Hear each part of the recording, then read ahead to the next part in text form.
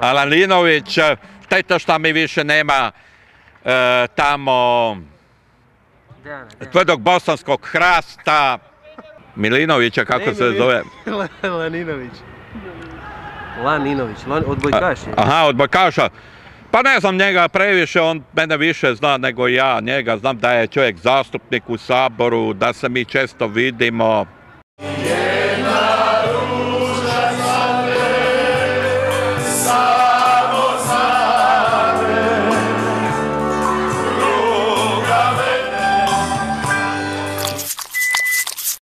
Lačinović, da. Pa često ga slušamo na radio Cibone ili recimo radio Plavih 9.